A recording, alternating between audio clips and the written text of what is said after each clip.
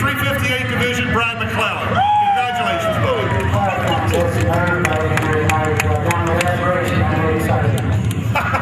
Exciting. It's not, not, not even close for it. I tell you what, you're all there beating on the counters, hooping and hollering, carrying on.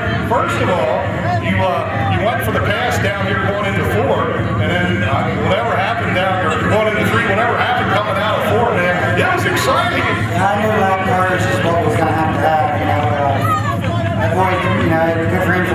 First race. You know, he's tore some shit up in Mike race. You know, I think he's going to tear some more up, but uh, hey, who hasn't?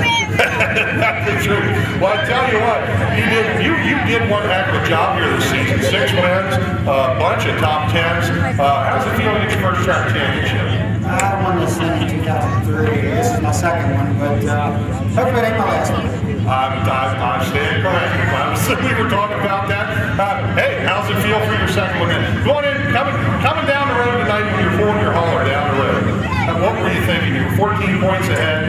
Did you have a good feeling, bad feeling?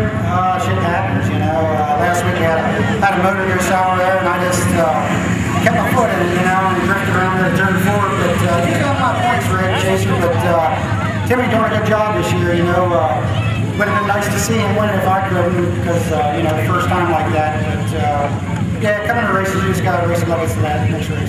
Well, I tell you what, you did a great job. Once again, helping sponsorship throughout the